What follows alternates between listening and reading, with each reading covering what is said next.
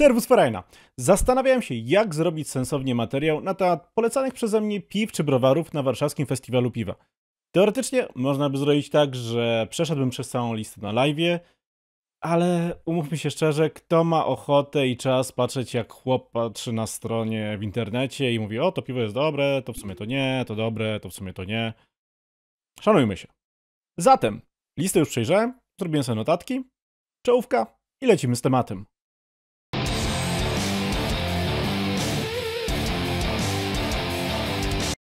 Ważna adnotacja na sam początek.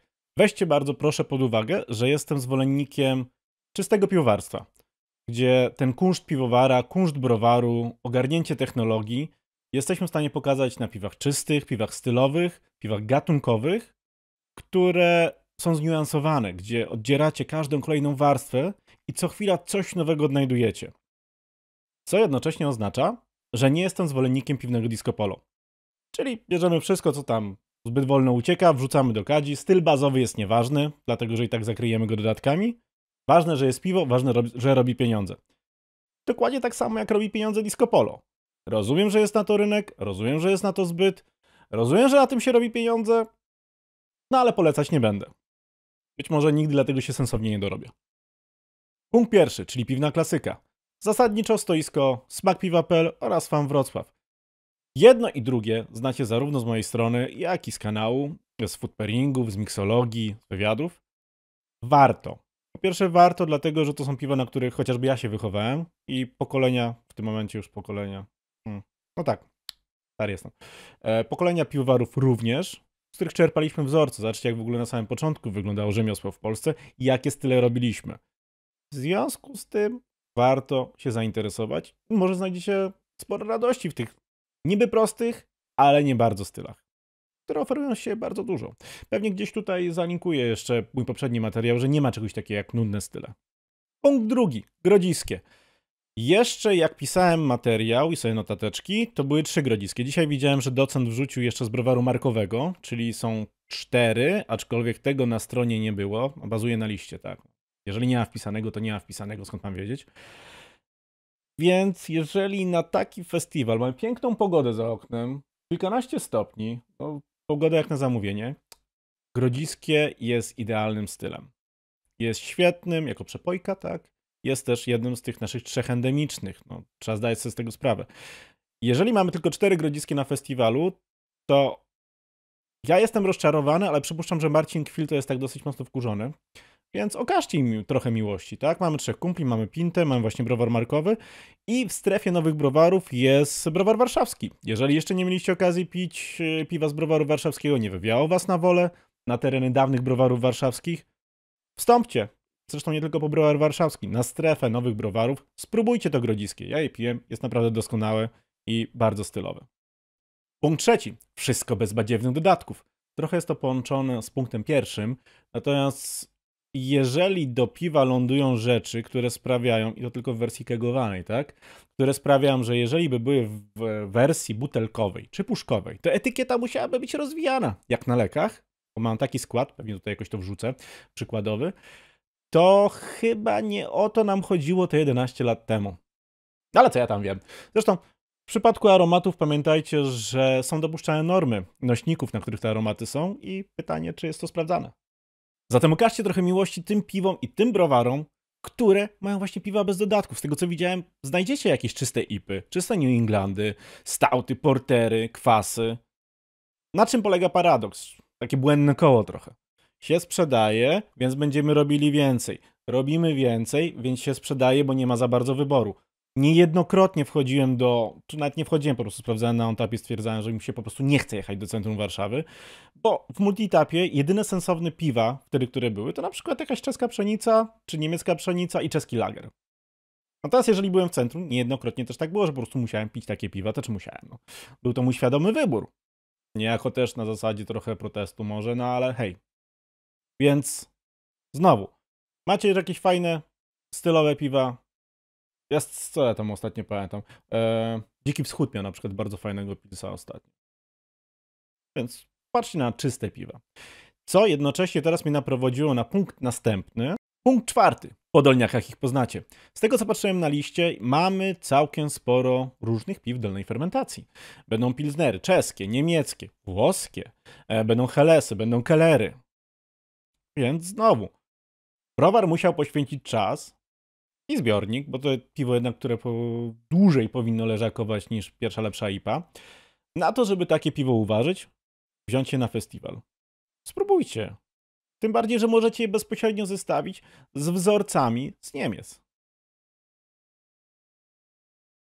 Kto wie, może przekonacie się do lagerów. To jest główny styl pozostał tam, który ostatnio ja piję. Punkt piąty.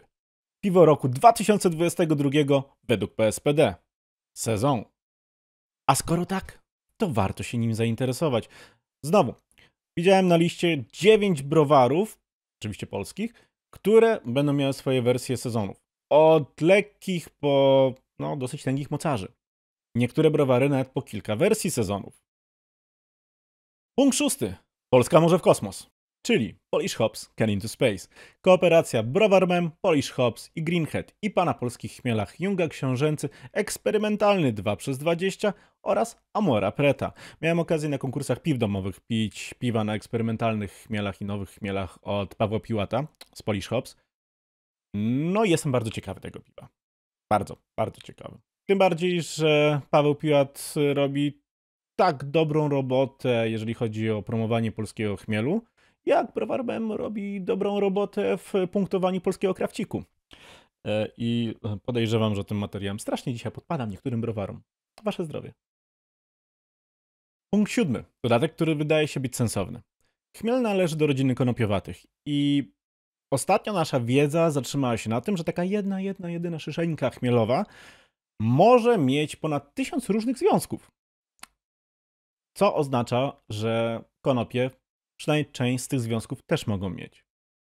I teraz e, na ostatnim warszawskim festiwalu piwa tak naprawdę jednym z ciekawszych patentów, ciekawszych piw, które widziałem, właśnie były z olejkami CBD, gdzie zostało to bardzo dobrze przemyślane, bo profil aromatyczny danego olejku został skomponowany z profilem aromatycznym użytego chmielu, dodatkowo no, piwa bazowego też, gdzie te nuty, aromaty się doskonale ze sobą przeplatały. Rzeczywiście to było zbalansowane, to było zniuansowane, miało wiele fajnych, ciekawych warstw. Zwłaszcza myślę w tym momencie o piwach, które były na stoiskach browaru Waszczukowe oraz Tarnobrzeg.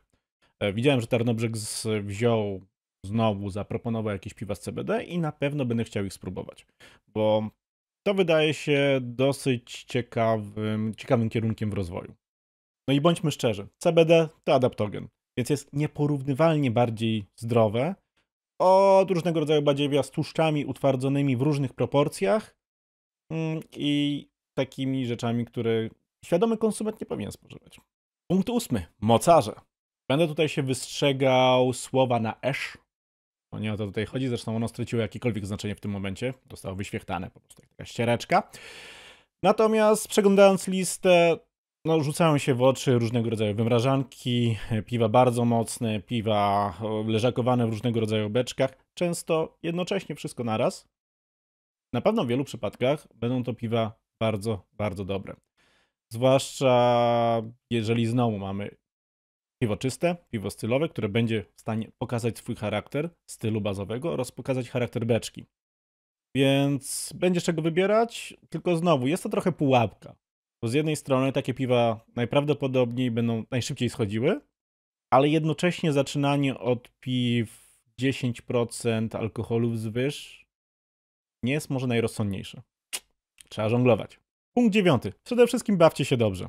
Tak jak powiedziałem, ja do pewnych piw i browarów jestem uprzedzony i po prostu nie będę ich polecał, nie będę ich pił. Natomiast absolutnie nie oznacza to, że wy macie ich nie pić.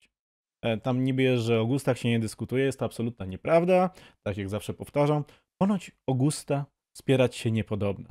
Wszakże całe życie jest waśnią o gusta i smaki. Trochę niczańsko zaleciało, nie? Natomiast e, zdecydowanie bawcie się. Po prostu się bawcie. Próbujcie nowych smaków. Nic nie stoi na przeszkodzie, żeby zacząć od klasyki, potem zanurzyć się w nowofalowym piwowarstwie, albo na odwrót.